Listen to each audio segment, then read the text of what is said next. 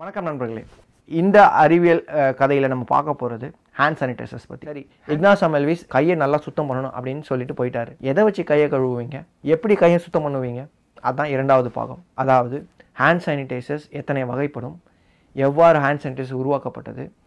அதனுடைய பரிணாமம் என்னென்ன அப்படிங்கிறது. கிட்டத்தட்ட ஐயாயிரம் வருஷங்களுக்கு முன்னாடியே மனிதர்கள் வந்து ஹேண்ட் சானிடைசர்ஸ் பயன்படுத்த ஆரம்பிச்சிட்டாங்க.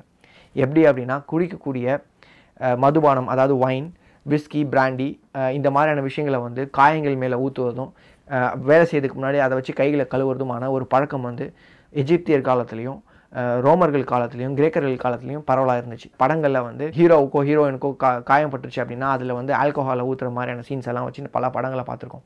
ஆல்கோஹாலுக்கு ஆன்டிசெப்டிக் ப்ராப்பர்ட்டி இருக்குது அப்படிங்கிறது வந்து ஆயிரத்தி எட்நூற்றி எழுபத்தி ஐந்தாம் ஆண்டில் தான் சயின்டிஃபிக்கலாகவே ப்ரூவ் பண்ணப்பட்டுச்சு. அதை யார் அதை ப்ரூவ் பண்ணுறாங்க அப்படின்னா லேனாய்ட் பெனிஹால்ஸ் அப்படின்னு சொல்லக்கூடிய எஸ்டோனியாவில் யூனிவர்சிட்டி ஆஃப் டார்த்து அப்படின்ற ஒரு யூனிவர்சிட்டியில் இருக்கக்கூடிய ஒரு ஆராய்ச்சியாளர் கண்டுபிடிக்கிறார். இதே காலகட்டங்களில் பின்னாடி ஆ- ஆயிரத்தி தொள்ளாயிரம் ஆண்டுகளில் ஆயிரத்தி தொள்ளாயிரத்தி நாற்பதாம் ஆண்டுகளில் கோஜி என்டர்பிரைஸ் அப்படின்னு சொல்லக்கூடிய அமெரிக்காவில் இருக்கக்கூடிய ஒரு மிகப்பெரிய ஒரு நிறுவனம் வந்து என்ன பண்ணுறாங்க அப்படின்னா சோப்பு மற்றும் சோப்பு மாதிரி இருக்கக்கூடிய நுரைகளை எழுப்பக்கூடிய சோப் சொல்யூஷன்ஸை வந்து கைகளை பயன் கழுவுறதுக்காக பயன்படுத்தலாம் அப்படின்னு இன்ட்ரடியூஸ் பண்ணுறாங்க இவங்க அதை இன்ட்ரடியூஸ் பண்ணுறதுக்கான முக்கியமான காரணம் என்ன அப்படின்னா இண்டஸ்ட்ரியல் ரெவல்யூஷன் நடந்துகிட்டு இருந்த அந்த காலகட்டத்தில் இருந்த இண்டஸ்ட்ரீஸில் வேலை செய்த தொழிலாளர்களோட உடம்புல வந்து ஆயில் கிரீஸ் இந்த மாதிரியான பொருட்கள்லாம் படிகிறதுனால அதை வந்து பெருசாக க்ளீன் பண்ண முடியாத காரணங்களால் அதற்காக உண்டாக்கப்பட்ட ஒரு பொருள் தான் சோப் சொல்யூஷன் பின்னாடி ஆயிரத்தி தொள்ளாயிரத்தி அறுபதாம் ஆண்டுகளில் ஜெர்மனியில் ஸ்டெரிலியம் அப்படிங்கிற ஒரு ஹேண்ட் சானிடைசர் ப்ராடக்ட்டை வந்து முதல் முதல்ல மனிதர்களின் பயன்பாட்டுக்கு எடுத்துகிட்டு வராங்க. எண்பதுலேருந்து தொண்ணூறு சதவீதம் வெறுமனை வெறும் ஆல்கஹால் மட்டும். இந்த ஸ்டெரிலியம் அப்படின்னு சொல்லக்கூடிய இந்த ஹேண்ட் சானிடைசர் ஆனது ரொம்ப திரவத்தன்மையோட இருக்கு. தண்ணியோட ரொம்ப வேகமாக ஊற்றக்கூடிய ஒரு தன்மை இருந்ததுனால அதை கைகளை ஊற்றும் பொழுது ரொம்ப வேகமாக காற்றுல கரையிற ஒரு நேர சுச்சுவேஷன் இருந்துச்சு. இதனால் இதனுடைய பயன்பாடு வந்து ரொம்ப கஷ்டமாக இருந்துச்சு. இதனை முறியடிக்கும் வகையிலேயே கோஜி என்டர்பிரைசஸ் அறிமுகப்படுத்திய மற்றொரு பொருள் தான் இன்னைக்கு நீங்களும் நானும் பயன்படுத்திட்டு இருக்கக்கூடிய ஜெல் பேஸில் இருக்கக்கூடிய இந்த ஹேண்ட் சானிடைசர் இவங்க இதனுடைய பேஸ் வேதிப்பொருளான ஆல்கோஹாலை வந்து மாற்றலை ஆனால் ஆல்கஹாலோட திரவத்தன்மையை கம்மி பண்ணி ஜெல் மாதிரி போட் கையில் விட்ட உடனே கொஞ்ச நேரத்துக்கு அப்படியே இருக்கிற மாதிரியான ஒரு வகையில் உருவாக்குனாங்க. நீங்கள் ஹேண்ட் சானிடைசரை பயன்படுத்தும் பொழுது இந்த ஹேண்ட் சானிடைசர் இருக்கக்கூடிய ஆல்கஹால் ஆனது உங்கள் கை மேலே இருக்கக்கூடிய நுண்ணுயிரிகளை வந்து சிறப்பாக கொல்ல ஆரம்பிச்சிடும் அதே நேரம் இந்த ஹேண்ட் சானிடைசர் இருக்கக்கூடிய ஆல்கஹால் வந்து உங்களுடைய கைகளை பாதிக்கக்கூடாது அப்படிங்கிற ஒரு காரணத்தினால அவங்க மாய்ஸ்சரைசரையும் உள்ளே இன்க்ளூட் பண்ணாங்க. இந்த ஒரு காரணத்தினால தான் இந்த வகையிலான ஜெல் பேஸ் ஹேண்ட் சானிடைசர் பின் நாட்களில் ரொம்ப ஃபேமஸாக மாற ஆரம்பிச்சிருச்சு. இப்போது நீங்களும் நானும் பயன்படுத்திட்டு இருக்கக்கூடிய இந்த ஹேண்ட் சானிடைசர்ஸ் முக்கியமாக ஒரு கம்பெனியான பியூரல் ஹேண்ட் சானிடைசர் அப்படின்னு சொல்லக்கூடிய இந்த ஒரு கம்பெனி வந்து கோஜோ என்டர்பிரைசஸால் உருவாக்கப்பட்ட ஒரு நிறுவனம். இந்த ஃபார்முலேஷனை ஃபாலோ பண்ணி பின் நாட்களில் லைஃப் பாய் லைஃப் சேவர் அப்படின்னு பல வகையிலான பல புதிய புதிய நிறுவனங்கள் வந்து ஹேண்ட் சானிடைசரை தயாரிக்க ஆரம்பிச்சிட்டாங்க. ஜென்ரலாக ஹேண்ட் சானிடைசர்ஸை வந்து மூணு வகையாக நம்ம பார்க்கலாம். முதல் வகை வந்து நுரையை உண்டாக்கக்கூடிய திரவமாகவோ இல்லை கட்டிகளாகவோ இருக்கக்கூடிய ஒரு வகையான கைகளை சுத்தப்படுத்தக்கூடிய பொருள். இதை வந்து நம்ம ஜென்ரலாக பல இடங்களில் தண்ணீரை வச்சு பயன்படுத்திட்டு இருக்கோம். இரண்டாவது வகை வந்து தண்ணீரை பயன்படுத்தி தண்ணீரில் கரைக்கப்பட்ட சில தாது பொருட்கள் அதாவது சில சால்ட்ஸ் உதாரணத்துக்கு bleaching powder sodium hypochlorite chlorine solution இதுதான் இக்னாஸ் எம்எல்விஸும் குளோரின் சொல்யூஷன் தான் அவரோட கண்டுபிடிப்பின் போது பயன்படுத்த ஆரம்பிச்சார். மூன்றாவது முக்கியமாக பென்சைல் ஆல்கோனியம் குளோரைட்ஸ் இதுவும் ஒரு வகையிலான uh, சால்ட் uh, பொருட்கள் தான். குவாட்னரி சால்ட்ஸ் இந்த மாதிரியான பொருட்களை வந்து தண்ணியில் ஒரு பர்டிகுலர் அளவில் கரைக்கப்பட்டு அந்த சொல்யூஷனை வந்து நம்ம கைகளில் பயன்படுத்துகிற மாதிரியும் சர்ஃபேஸ் அதாவது மேற்பரப்புகளை வந்து துடைக்கிறதுக்காகவும் பயன்படுத்தக்கூடிய ஒரு வகையில் அமைக்கப்பட்டது தான் வாட்டர் பேஸ்ட் கெமிக்கல் டிஸ்இன்ஃபெக்டன்ஸ் இல்லை கெமிக்கல் சானிடைசர்ஸ் uh, இப்போது நீங்கள் வந்து ஒரு பஸ்ஸில் போயிட்டுருக்கீங்க ட்ரெயினில் போயிட்டுருக்கீங்க ஃப்ளைட்டில் போயிட்டுருக்கீங்க உங்கள் கையை வந்து நீங்கள் துடைக்கணும்னு நினைக்கிறீங்க ஆனால் வந்து தண்ணி கிடையாது பக்கத்தில். அந்த மாதிரியான ஒரு தேவைக்காக உருவாக்கப்பட்டது தான் தண்ணீர் இல்லாத water free alcohol based sanitisers இந்த ஆல்கஹால் பேஸ் பேஸ் சானிடைசர்ஸ் பெரும்பாலும் பேஸ் பொருளாக எதை வச்சு இயங்குது அப்படின்னா ஆல்கஹால் என்ன ஆல்கஹால் அப்படின்னா இத்தனால் இல்லை ஐசோப்ரோபனால் அப்படின்னு சொல்லலாம். இத்தனால் வந்து ரெண்டு கார்பன் கொண்ட ஆல்கஹால் காம்பவுண்ட் ஐசோப்ரோபனால் வந்து மூணு கார்பன் கொண்ட ஆல்கஹால் காம்பவுண்ட். இது ரெண்டுத்தையுமே வந்து குறைந்தபட்சம் எழுபது சதவீதத்திலிருந்து அதிகபட்சம் எண்பதுலேருந்து எண்பத்தஞ்சு சதவீதம் வரைக்குமாவது இருக்கணும் அப்படின்னு ஆராய்ச்சியாளர்கள் நிர்ணயிச்சிருக்காங்க. இதுக்கு காரணம் என்ன அப்படின்னா இந்த சதவீதம் குறையும் பொழுது இதனுடைய நுண்ணுயிரிகளை கொடு கொல்லக்கூடிய தன்மையும் குறைய ஆரம்பிக்குது அப்படின்னு ஆராய்ச்சியாளர்கள் கண்டுபிடிச்சிருக்காங்க. சரி இந்த ஹேண்ட் சானிடைசர்ஸ் இப்போ நான் சொன்ன மூணு வகையான ஹேண்ட் சானிடைசர்ஸ் எப்படி வேலை செய்யுது அப்படின்னு கேட்டிங்கன்னா மூணுமே வந்து ஒரே வேலை தான் செய்யுது. அதாவது நுண்ணுயிரிகளை கொள்ளுது ஆனால் அது கொல்லக்கூடிய விதம் வந்து ஒவ்வொன்றுக்கும் ஒவ்வொரு மாதிரி இருக்கும். இதை நீங்கள் தெரிஞ்சுக்கணும் அப்படின்னா பாக்டீரியாவுடைய வெளிப்புறத்துலையும் வைரஸ்களுடைய வெளிப்புறத்துலையும் என்ன இருக்குது அப்படின்றத நீங்கள் தெரிஞ்சுக்கணும். பாக்டீரியாக்களையும் வைரஸுகளையும் வந்து நம்ம எப்படி இமேஜின் பண்ணிக்கலாம் அப்படின்னா காற்று நிறைக்கப்பட்ட ஒரு பலூன் மாதிரி நினச்சிக்கலாம். இந்த பலூனில் இருக்கக்கூடிய இந்த காற்று நிறைக்கப்பட்ட இந்த ரப்பர் தான் வந்து பாக்டீரியாவுடைய மேல்பரப்பில் இருக்கக்கூடிய செல் வால் அப்படின்னு நினச்சிக்கோங்களேன். இந்த செல்வாலை வந்து இப்போ நீங்கள் வந்து இந்த பலூனை வந்து ஒரு பின்னை வச்சு குத்துறீங்க அப்படின்னா பலூனுக்கு உள்ளே இருக்கக்கூடிய காற்று வந்து வெளியில் வெடித்து வெளியில் வரும். அதே மாதிரி நம்ம பயன்படுத்தக்கூடிய ஹேண்ட் சானிடைசர்ஸ் ஏதோ ஒரு வகையில் இந்த பலூனுடைய வெளிப்புறத்தை நம்ம பின்ன வச்சு குத்துற மாதிரி பாக்டீரியாவுடைய வைரஸினுடைய வெளிப்புறத்தை குத்தி அதை வந்து வெடிக்க செய்யுது. இந்த மாதிரி வெடிக்கும் பொழுது அந்த பாக்டீரியாவினுடைய உள்பகுதியில் இருக்கக்கூடிய ஆர்என்ஏ டிஎன்ஏ புரோட்டீன் பல மூலக்கூறுகளும் வந்து பாக்டீரியாவினுடைய உடம்புலேருந்து வெளியில் வரும்பொழுது பாக்டீரியாவால் உயிர் வாழ முடியாமல் இறந்து போகுது. இந்த பாக்டீரியாவினுடைய வெளிப்பரப்பை வந்து செல் வால் அப்படின்னு சொல்லுவாங்க. செல் வாலுக்கு உள்ளே வந்து செல் மெம்ப்ரேன் அப்படின்ற ஒரு பரப்பும் இருக்குது இந்த செல் வாலும் செல் மெம்ப்ரேனும் சேர்ந்து பாக்டீரியாவை வந்து இந்த மாதிரி வெளியிலேருந்து வரக்கூடிய சேதாரம் உண்டாக்கும் வகையிலான வேதிப்பொருட்கள் வந்து காப்பாற்றிக்கிட்டு இருக்கு. வைரஸுகளில் இந்த மாதிரியான ஒரு அமைப்பு கிடையாது. வைரஸுகளில் இருக்கக்கூடிய வெளிப்பருவத்தை வந்து வெளிப்பரப்பை வந்து என்வலப் லேயர்ஸ் அப்படின்னு சொல்லுவாங்க.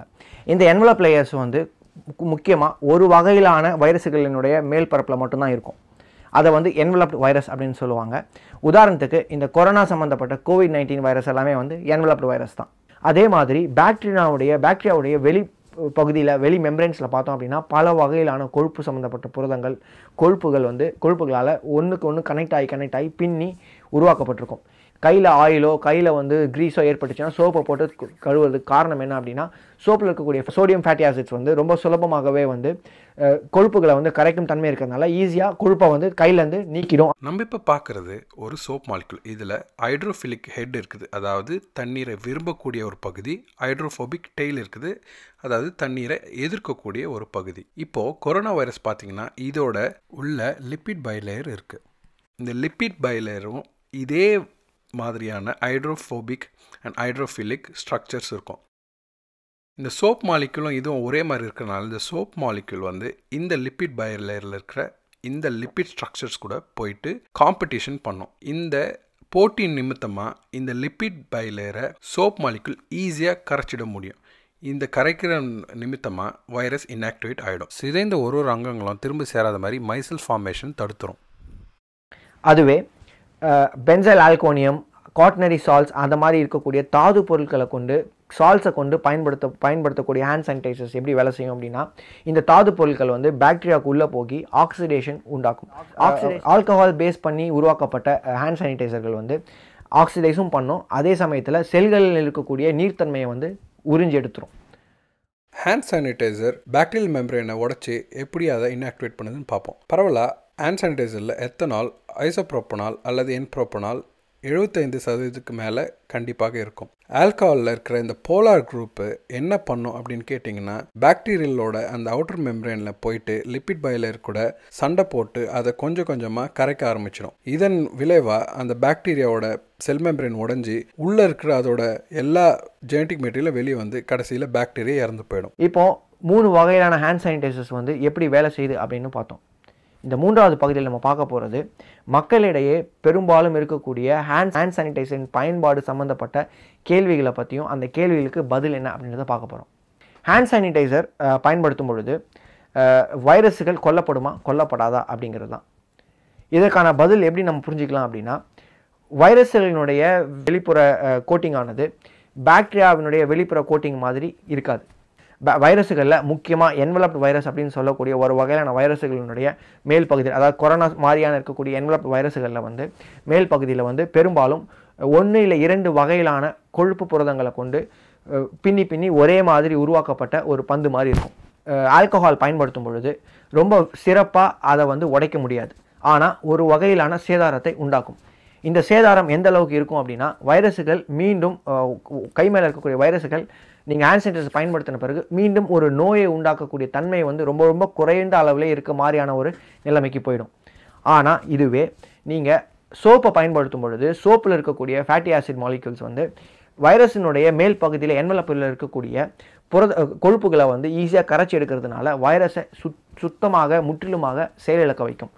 அதனால தான் ஹேண்ட் சானிடைசர் பெஸ்ட்டா சோப்பு பெஸ்ட்டா அப்படின்ற கேள்விக்கு ஹேண்ட் சானிடைசர்களை விட சோப்பு போட்டு கை கழுவுவதே சிறந்த முறை அப்படின்னு ஆராய்ச்சியாளர்கள் சொல்கிறாங்க சரி அப்போ நான் ஹேண்ட் சானிடைசர் பயன்படுத்தணுமா வேணாமா அப்படின்ற கேள்விக்கு தண்ணீர் இல்லாத இடங்களில் நீங்கள் ஏதோ ஒரு பொருளை தொடறீங்க உங்களுக்கு ஒரு அச்சம் இருக்குது ஐயோ நம்ம தொட்டுட்டோமே அப்படின்னு.